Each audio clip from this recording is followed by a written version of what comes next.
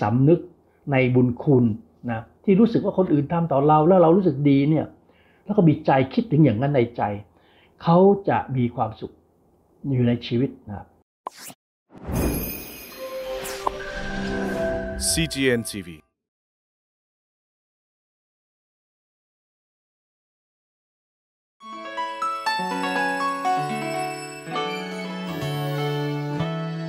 อ่าสวัสดีครับ เรามาพบกันอีกครั้งหนึ่งนะครับ ในรายการ Living Life รายการที่จะมีค่อยข้อคิดสาระ ข้อเตือนใจที่เราจะมาใช้ในชีวิตโดยผ่านทางมุมมอง พระคำของพระเจ้า กับผมอาจารย์สุรพลใบบอดี้บันกุลครับ พระคำของพระเจ้าในเช้าวันนี้ผมใช้ในพระธรรมปฐมกาลบทที่ 47 ข้อที่ 23 ถึงข้อที่ 31 ครับปฐมกาลบทที่ 47 ข้อ 23 ถึง 31 โยเซฟกล่าวกับประชาชนว่า ดูเถิด วันนี้เราซื้อตัวพวกเจ้ากับที่ดินของเจ้าให้เป็นของฟาโรแล้ว นี่แน่เราจะให้เมล็ดข้าวแก่พวกเจ้า จงเอาไปหว่านในที่ดิน เมื่อได้ผลแล้วจงถวายส่วนหนึ่งในห้าส่วนแก่ฟาโร เก็บสี่ส่วนไว้เป็นของพวกเจ้า ให้ใช้เป็นพันข้าวสำหรับที่นาบ้าง เป็นอาหารสำหรับพวกเจ้าและครอบครัวกับเด็กๆบ้าง คนทั้งหลายก็ตอบว่า ท่านช่วยชีวิตข้าพเจ้าทั้งหลายไว้ ขอให้พวกข้าพเจ้าได้รับความโปรดปรานจากนายเถิด พวกข้าพเจ้ายอมเป็นทาสของฟาโรห์โยเซฟตั้งเป็นกฎหมายในแผ่นดินอียิปต์จนทุกวันนี้ว่า ให้ฟาโรห์ได้ส่วนหนึ่งในห้าส่วน เว้นแต่ที่ดินของปุโรหิตเท่านั้นที่ไม่ตกเป็นของฟาโรห์บ้านปลายของยาโคบ พวกอิสราเอลอาศัยอยู่ในแผ่นดินอียิปต์ ณดินแดนโกเชน พวกเขาได้กรรมสิทธิ์ที่ดินเป็นของพวกเขา และมีลูกหลานทวีขึ้นมากมาย ยาโคบมีชีวิตอยู่ในแผ่นดินอียิปต์ 17 ปี รวมอายุยาโคบได้ 147 ปี เมื่ออิสราเอลใกล้จะสิ้นชีพจึงเรียกโยเซฟบุตรชายมาสั่งว่า ถ้าเจ้ายังนับถือพ่อ ขอให้เอามือเจ้าวางไว้ใต้ขาออดของพ่อ และทำต่อพ่อด้วยความรักมั่นคง และความจริง คือขออย่าฝังศพพ่อไว้ในอียิปต์เมื่อพ่อลุ่งหลับไปอยู่กับบรรพบุรุษของพ่อแล้ว จงนำพ่อออกจากอียิปต์ไปฝังไว้ณที่ฝังศพบรรพบุรุษของพ่อเถิด โยเซฟก็สัญญาว่าลูกจะทำตามที่พ่อสั่ง อิสราเอลจึงบอกว่า จงสาบานต่อพ่อ โยเซฟก็สาบานต่อบิดา แล้วอิสราเอลก็น้อมตัวลงบนหัวเตียง พระคำของพระเจ้าในเช้าวันนี้เนี่ยผมตั้งชื่อว่าเมื่อพายุพัดมาแล้วก็พัดไปแล้วเราคาดว่าเราจะเห็นอะไร เวลาพายุพัดมา ผ่านเข้ามาแล้วแล้วก็พัดผ่านไป หลังปีคศตั้งแต่ปีคศ 40นะ2540ครับที่เราเรียกว่าช่วงเศรษฐกิจต้มยำกุ้งนะครับ ถือว่าเป็นช่วงเศรษฐกิจของประเทศไทยที่รุนแรงมากทีเดียวนะครับ ก็โดยเริ่มจากประเทศไทยก่อนนะก็เลยส่งผลไปประเทศต่างๆ รอบๆนะก็เลยเขาเลยตั้งชื่อว่าต้มยำกุ้งของไทย ห้างใหญ่ ๆ ในประเทศไทยนะร้านค้าเครื่องไฟฟ้า ขายรถกันแบบที่เรียกว่า 40-50%จริงๆรองเท้านำเข้านะจากเมืองนอกเหลือคู่ละ 500 บาทนะก่อนที่จะขายเลือดหนีตายนะปิดแผนกไปเลยนะหลังจากนั้นห้างก็จะปิดกัน ก็เหมือนกันครับช่วงการดานอาหาร 7 ปีในอียิปต์เราคิดว่าเกิดอะไรขึ้นหลังจากช่วง 7 ปีผ่านไป คงจิตจินตนาการยากนะเจ็ดปีมันก็ยาวนานครับเพราะเราไม่เคยเจอเรื่องแบบนี้มาก่อนเลย ไม่มีฝนพ่อปลูกไม่ได้ยาวนานถึง 7 ปีเศรษฐกิจแทบจะเรียกว่าพังพินาศแต่ว่าด้วยสติปัญญาของโยเซฟก็นำพาประเทศให้ผ่านพ้นวิกฤตอันนี้มาได้ครับพระคำของพระเจ้าในเช้าวันนี้ให้ข้อคิดเตือนใจอะไรเราบ้างนะครับ ประการที่หนึ่งครับ พระเจ้าช่วยเราให้รอด เมื่อเราผ่านไปแล้วเรากลับมามอง พระเจ้าช่วยเราให้รอดอยู่ในข้อที่ 25 ครับเออประชาชนทั้งปวงก็บอกกับโยเซฟว่าท่านช่วยข้าช่วยชีวิตข้าพเจ้าทั้งหลายไว้ ขอให้พวกข้าพเจ้าได้รับความโปรดปรานจากนายเถอะ พวกข้าพเจ้ายอมเป็นทาสของฟาโรห์ข้าพเจ้าช่วยครอบครัวของยาโคบคนของพระเจ้าให้รอดตายจากวิกฤตครั้งนี้ การดานอาหาร โดยการส่งโยเซฟนะมาอยู่ ที่อียิปต์ล่วงหน้าถึง 15 ปีทีเดียวข้าพเจ้าช่วยให้เราพ้นจากวิกฤตปัญหา บางทีก็ยอมรับว่าเราไม่เข้าใจในชีวิตนะหรือสิ่งที่สิ่งที่เกิดขึ้นพอหลายหลายอย่างหรือหลายหลายเหตุการณ์มันผ่านไปแล้วมองย้อนหลัง ถึงจะค่อยๆเข้าใจ ตอนเกิดขึ้นเราก็ไม่เข้าใจ เรามองย้อนหลังเราจะโอ้พระเจ้าดูแลชีวิตของเรานะพอเรามองย้อนหลังจะว่าโอ้พระเจ้าช่วยเรานะบางทีเรามองย้อนหลังว่าโอ้พระเจ้านำพาชีวิตเราจริง ๆ ครับสำหรับใครที่ หลายคนอาจจะเข้ามาในชีวิตของเราก็คงคนที่เข้ามาช่วยก็อาจจะเหมือนกับโยเซฟที่เข้ามาตรัสเตรียมแล้วผ่านเข้ามาในชีวิตของเรา สิ่งที่เราควรจะทำอะไรเมื่อเรามองเห็นว่าพระเจ้าทรงมีความหมายพระเจ้าช่วยเราให้รอด ก็อยากให้เรามีใจที่สำนึกในบุญคุณนะครับสำนึกในบุญคุณก็คือการคิดถึงเออมีใจขอบคุณมีการสำนึกว่าได้เป็นสิ่งที่ดี ก็เหมือนกับชีวิตของเรานะครับว่าชีวิตของเราเอง ในพระพีเขียนว่าเราพระเจ้ายังรักเราถึงแม้เรายังเป็นคนบาปขณะที่ยังเป็นคนบาป พระเจ้าก็ชดใช้กรรมบาปให้กับเราแล้ว พระเจ้าช่วยเรามีชีวิตใหม่ พระเยซูซื้อเรามาด้วยเลือดชีวิตของพระองค์เองนะเรารู้สึกอย่างนั้นไหมที่เราจะมีใจสำนึกในพระคุณของพระเจ้าแล้วเปโลก็บอกเราแบบนี้เหมือนกัน ในพระธรรมโรมบทที่12ข้อที่1นะบอกว่า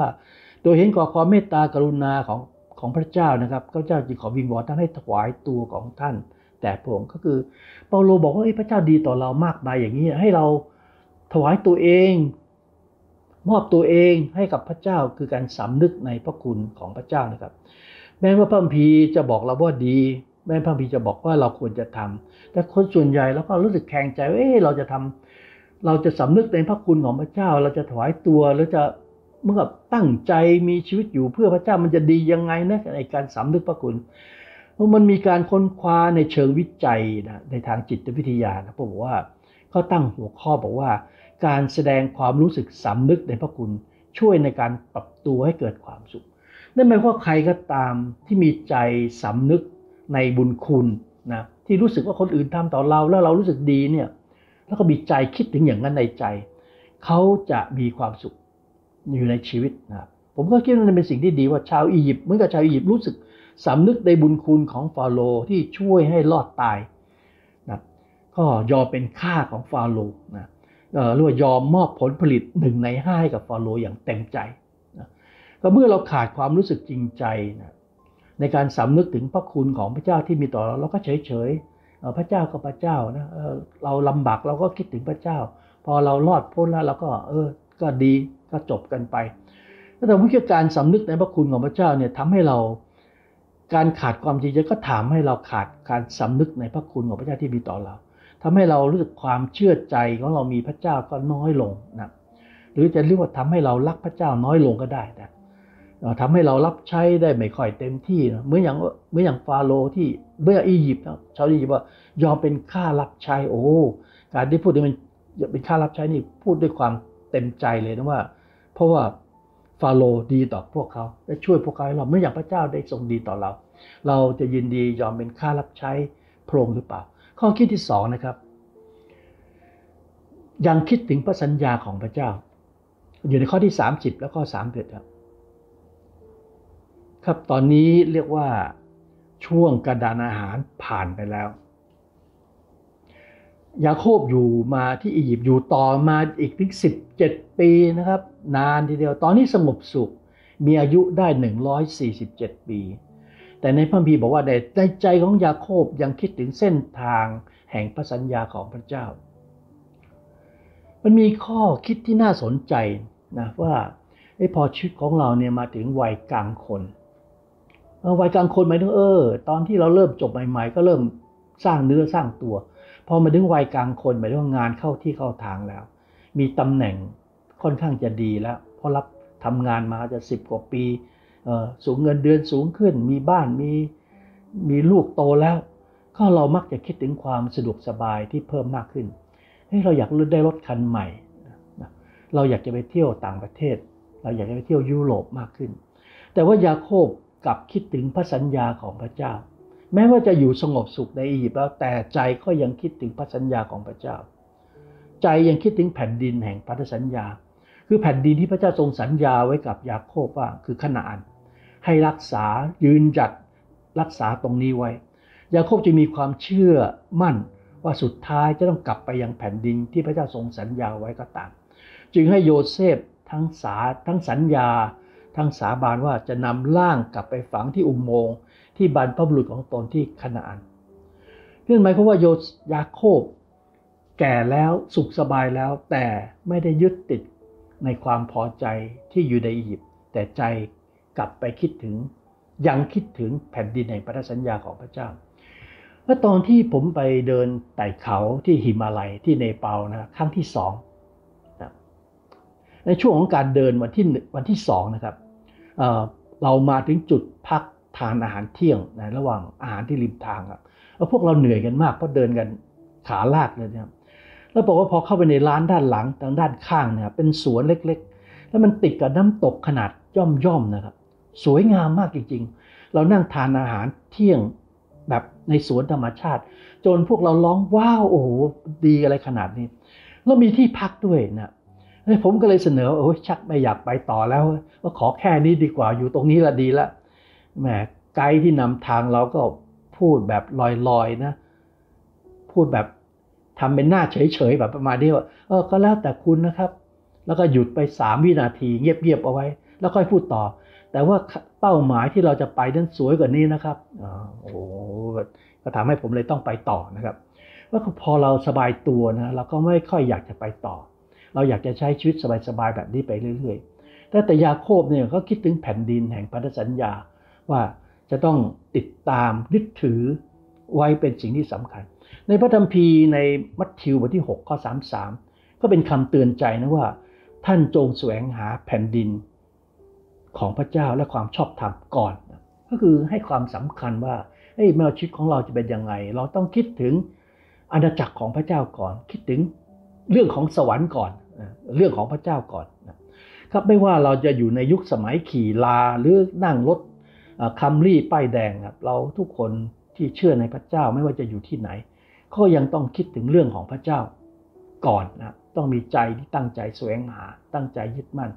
เพื่อที่เราจะได้สิ่งที่พระเจ้าทรงสัญญาไว้ เพราะเรื่องของพระเจ้าจึงไม่ใช่เรื่องแค่ศาสนาที่มีความเชื่อเฉยๆเชื่อพระเจ้าแล้วก็เออไปเรื่อยๆ แต่มันเป็นชีวิตที่ไม่ใช่ต้องจริงจังอะต้องจดจ่ออยู่กับเป้าหมาย สิ่งที่พระเจ้าทรงสัญญาไว้ ถ้าเปรียบเทียบก็เหมือนกับเฮ้ยเราต้องจับพวงมาลัยไว้ให้มั่นนะให้ตรงตามทิศทางที่พระเจ้าทางของพระเจ้าที่จะเดินไป กับยาโคบจริงจังในเรื่องนี้ครับจึงให้โยเซฟผู้เป็นลูกเนี่ยสัญญานะแล้วยังต้องสาบานด้วยนะในข้อ33เบ็ดโยเซฟก็สัญญาว่าลูกจะทำตามที่พ่อสั่งยาโคบบอก จงสาบานต่อพ่อ โยเซฟก็สาบานไอการสาบานในพระคัมภีร์บอกโดยการเอามือเนี่ยวางที่ใต้ขาอ่อน ก็เป็นกรรมวิธีการสาบานในสมัยนั้น ที่แสดงถึงความจริงจังว่าจะต้องปฏิบัติตามอย่างแน่นอนครับ พระเจ้ายาโคบมีการสัญญาว่าจะต้องกลับไปยังแผ่นดินแห่งพันธสัญญา เป็นตัวอย่างให้กับเราดูว่าแม้ว่าสุขสบายในอียิปต์ และแก่แล้ว แต่ยังจริงจัง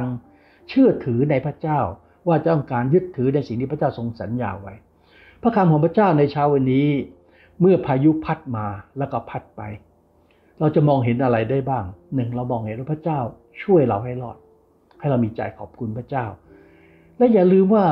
พัดมาแล้วเราสงบสุขแล้ว เรายังต้องคิดถึงพันธสัญญาของพระเจ้าที่ทรงมีต่อเราด้วยเช่นกัน อย่าลืมเส้นทางแห่งพันธสัญญา กับให้เราร่วมใจกันอธิษฐานนะครับ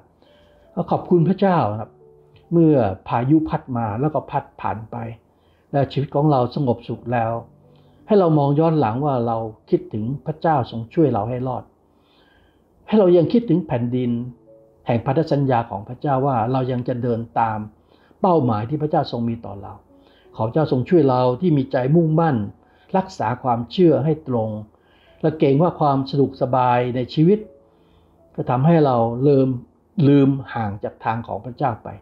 ขอพระเจ้าทรงนำพา ขอบคุณพระเจ้า ขอบคุณพระองค์ในพระนามพระเยซูเจ้าอาเมนผมอยากจะขอกล่าวคำเชิญชวนผู้ที่เข้ามาชม ถ้ารู้สึกว่ามีประโยชน์ ชอบนะก็กดไลค์แล้วถ้าเราคิดถึงเพื่อนของเราเอ้ยเพื่อนของเราน่าจะฟังด้วย น่าจะมีประโยชน์สำหรับเพื่อนของเรา ส่งให้กับเพื่อนของเราก็กดแชร์ เราจะสามารถกดติดตามในครั้งต่อๆไปได้ ก็กด subscribe นะที่เราจะติดตามได้เรามีช่องทางหลายช่องทางไม่ว่าจะทาง YouTube Facebook CGN TV นะครับสามารถแสดงความคิดเห็นว่าโอ้เราได้รับพระพรอะไรบ้างส่งเข้ามานะครับก็ขอพระเจ้าทรงอวยพรครับ